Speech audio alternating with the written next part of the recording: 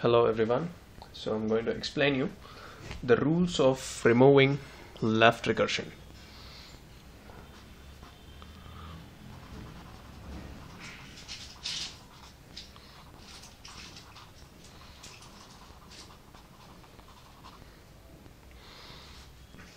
This is very simple.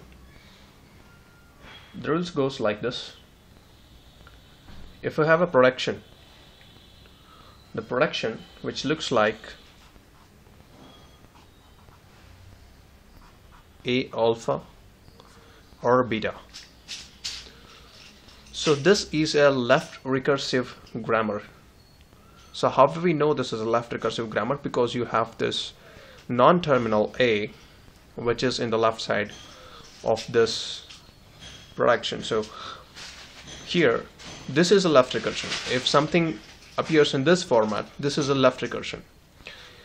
And this is a constant or a terminal. This is a terminal. This is a terminal. This is a non-terminal and this is non-terminal. So then if we get a production which is like this, okay, we are going to change it to A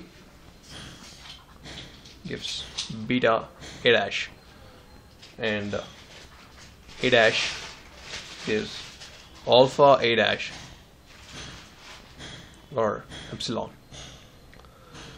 This A dash is a new non-terminal which we are introducing in the production and we are splitting this production into two and we are having a null over here.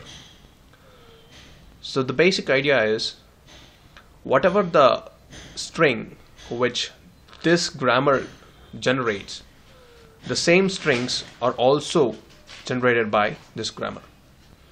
So that's it. So I will explain you with the example in my next video. Thank you.